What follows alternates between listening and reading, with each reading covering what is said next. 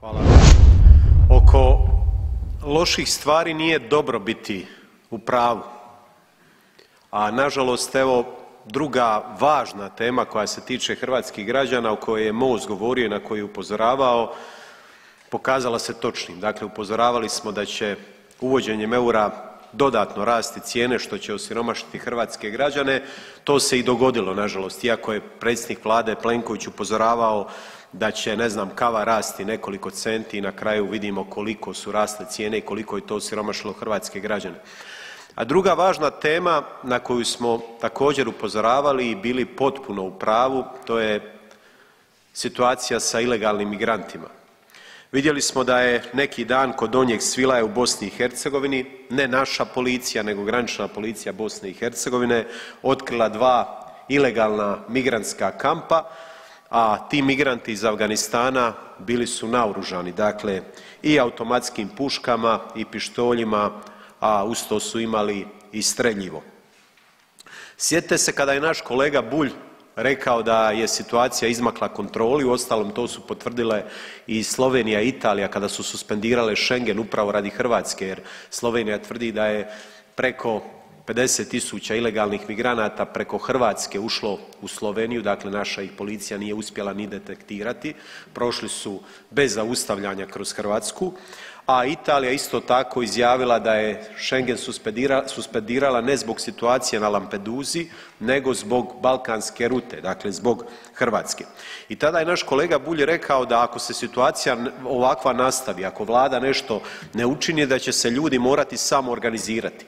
Skočili su svi, skočili su vladajući, skočili su mediji i to priča je bila pa što se Bulj buni u Sinju nema migranata, imamo mi problem s migrantima, ali to je pretežno Karlovačka županija, Lika itd., u Sinju nema migranata. I pazite ironije, na isti dan kada jedna dnevna novina najčitanija na jugu Hrvatske objavljuje da u Sinju nema problema s migrantima, taj isti dan 25. listopada migranti provalili u planinarski dom u blizini Sinja.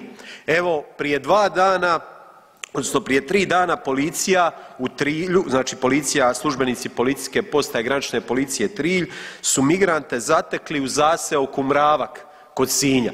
Dakle, to je smiješna priča i te optužbe koje su išle prema gradonačelniku Bulju koji se brine za sigurnost svojih građana.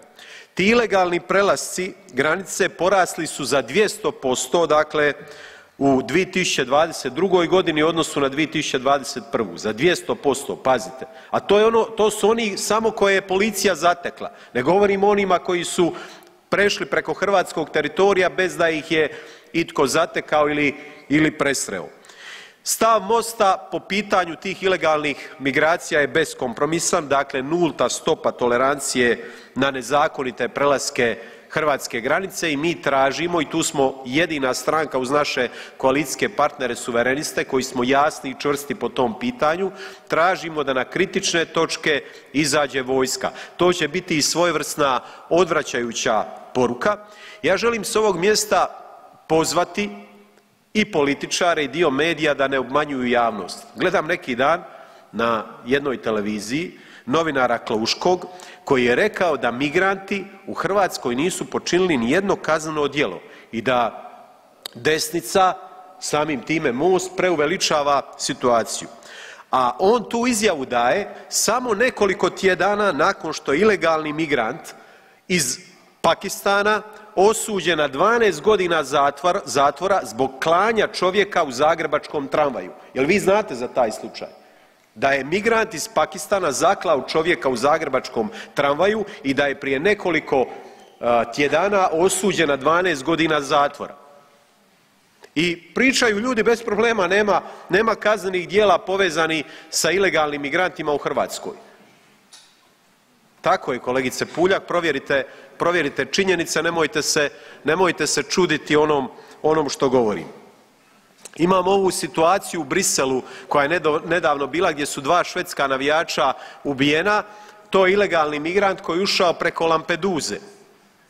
Dakle, mi imamo ozbiljan problem i Europa ima ozbiljan problem, stav Mosta je tu beskompromisan, nećemo biti kao HDZ na daljinski iz Bruxellesa, nećemo biti kao ova nerazumna ljevica koja se zalaže za politiku otvorenih granica i visokih socijalnih naknada.